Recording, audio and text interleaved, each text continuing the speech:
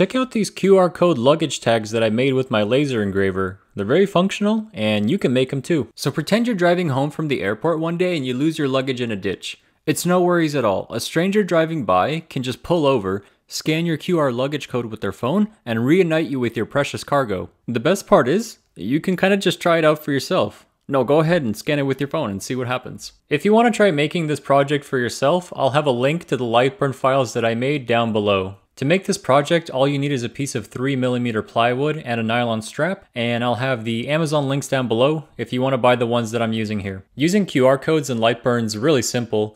If you're not familiar with how to use it, all you need to do is double click on the QR code, then from there, you can change the raw content to whatever you need it to be. I already filled in the text and phone call format for the sample projects if you're following along with those. Now, in the sample projects, I've included dummy phone numbers, so you'll want to replace those with your phone number, obviously.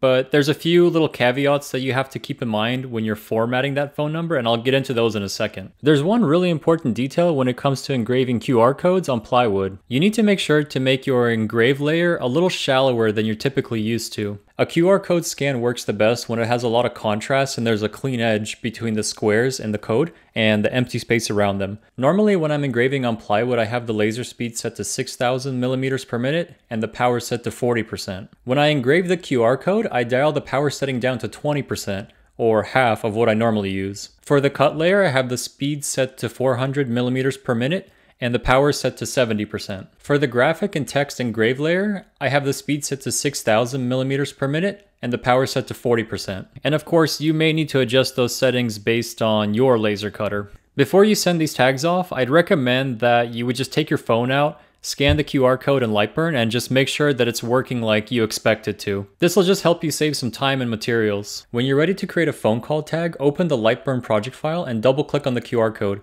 The QR code format to make a phone call is TEL colon and then your phone number.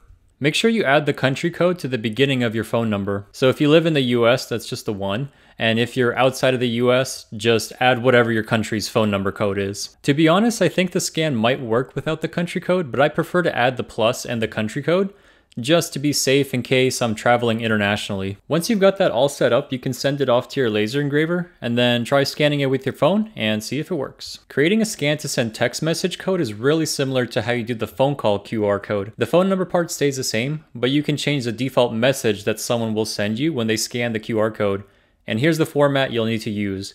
It's SMSTO colon, the phone number, colon, and then the message. You'll see that I have the message set to, hey, I found your luggage when someone texts you. If you end up changing the message that gets sent to something else, just make sure you don't make it too long. The squares in the QR code are going to get smaller and smaller the longer your message gets. There's going to come a point where the squares in the QR code will just get too small for your phone's camera to pick up on. Once you've changed the phone number to yours, you can send it to your cutter Scan it, try it out, and see how it works. Something weird that I've run into as I've been working on this project and doing a lot of test scans with my iPhone is that it can tend to bug out the new message screen and it won't close. The way I've gotten around this is by using a third party app, simply called QR Code, to do all my test scanning.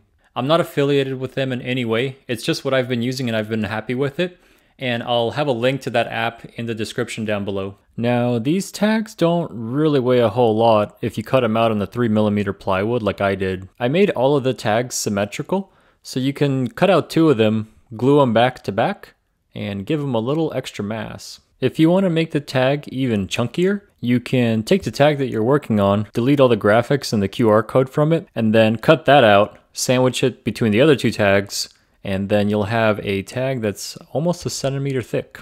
I guess there's no real upper limit to how thick you want to make your luggage tags. I mean, heck, if you had the time and the materials, you could make them 20 layers deep, and then you would just have the ultimate tag thing.